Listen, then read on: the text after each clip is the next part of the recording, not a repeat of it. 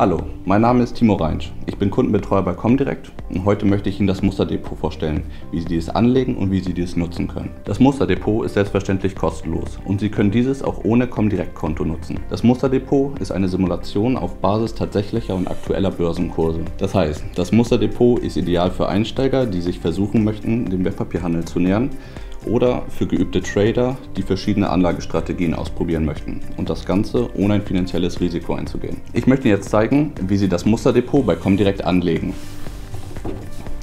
Dafür klicken Sie oben auf unserer Website auf Musterdepot und anschließend hier wiederum, wenn Sie eingeloggt in Ihrem persönlichen Bereich sind, auf Musterdepot anlegen. Im ersten Schritt vergeben Sie sich einen Namen für das Musterdepot. Diesen können Sie selbstverständlich im Nachhinein wieder ändern. Als nächstes wollen wir dem Musterdepot ein Wertpapier hinzufügen.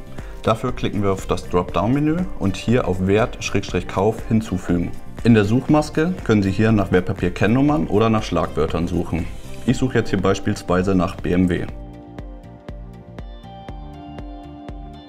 Hier wählen Sie nun Ihr gewünschtes Wertpapier aus. Als nächstes tragen Sie Ihre Stückzahl ein. Fortgeschrittene Anleger können auch noch den Kaufkurs, den Kaufwert, die Börse und das Kaufdatum auswählen.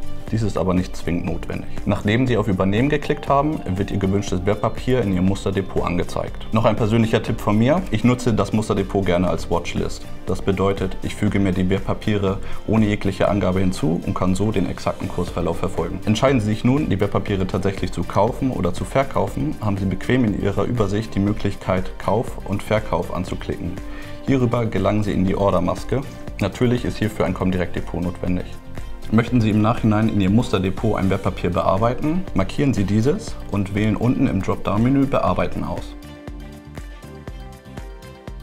Hier können Sie nun alle Angaben ändern. Ebenso können Sie markierte Wertpapiere problemlos in ein anderes Musterdepot kopieren oder verschieben. Wenn Sie mehrere Wertpapiere in Ihrem Musterdepot haben und diese miteinander vergleichen möchten, markieren Sie diese und wählen unten im Dropdown-Menü Charts vergleichen aus. Hier gelangen Sie in eine Übersicht, wo Sie die Kursverläufe der Wertpapiere angezeigt bekommen. Ebenso haben Sie die Möglichkeit, sich zu Ihren markierten Wertpapieren die aktuellen News anzeigen zu lassen.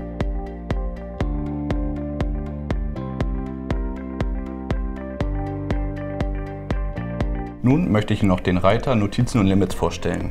Hier haben Sie die Möglichkeit, individuelle Notizen zu jedem Wertpapier hinzuzufügen. Ich persönlich trage mir da gerne ein, welches der Wertpapiere ich bereits in meinem realen Depot gekauft habe.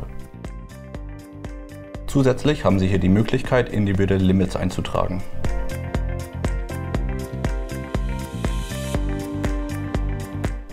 Wenn Sie dieses Limit aktivieren und der Kurs erreicht ist, erhalten Sie eine E-Mail-Benachrichtigung von uns. Ich nutze dieses gern, wenn ich vorhabe, in Zukunft zu einem bestimmten Kurs in das Wertpapier einzusteigen. Des Weiteren haben Sie Aktionen für das gesamte Depot.